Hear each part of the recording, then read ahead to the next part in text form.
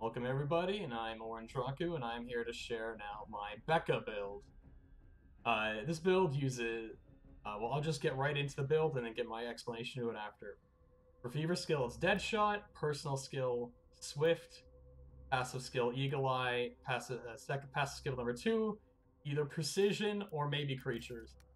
Um, for the equipment it's FMJ rounds 3, Dog Tag, Long Barrel 2, and yes, even a first aid spray on Becca.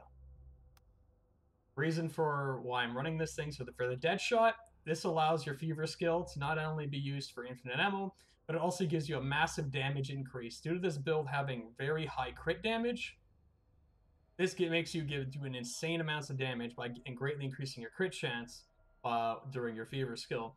Useful for taking out a bio core, useful for taking out bio weapons, if if you're playing if you're playing like your bio, uh, like a mastermind's playing a bio weapon, say Mr. X, Becca uses her fever skill and starts shooting you at a shotgun. You want to get out because she's probably going to kill you in three hits. Like she she will just down bio weapons insanely quickly during this, and that is one of the the key uses of Becca. Um, personal skill Swift. For the most part, I would only use I would only use this in low pressure situations to help am help you save ammo. If there's a couple preset zombies that are far away, you just want to you have time to like just you know take them out while your your team's doing other stuff. Generally, or you use it for taking out bio cores. For the most part, it's going to be used to take out bio cores.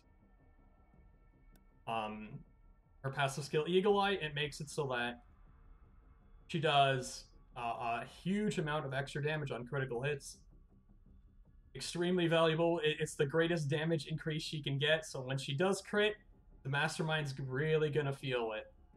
Uh, and with the equipment that you run that has increased critical chance, combined with Deadshot, uh, she can, with, with some luck, do insane amounts of damage. And passive skill, either Precision, if your team can reliably land headshots, or Creatures, if they can't reliably hand, land headshots.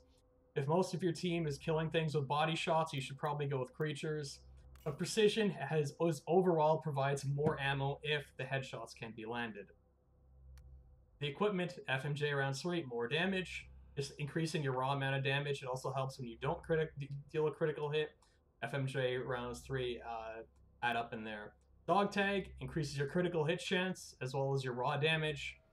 Uh, combined with Long Barrel 2, uh, again, more crit chance. More crit chance is just very valuable on Becca with this build. Just because of how much damage her critical hits inflict. And then, of course, oddly enough, First Aid Spray.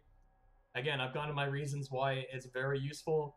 A lot of times someone goes down, no one else can revive, and having that, that extra utility, the ability to bring someone back up, can be very crucial.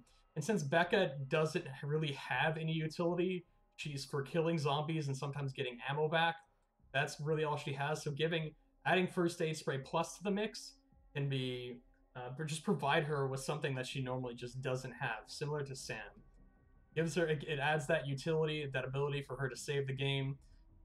Um, you know, if you if you're just saying screw that, I just want more damage, uh, then just go supplements three. But personally, I think the better option overall for Becca would be go with first aid spray. But yeah, supplements three if you just want raw damage and nothing else. Anyway, that's it for me for playing for my Becca builds. And I will see you all another time. Take care now.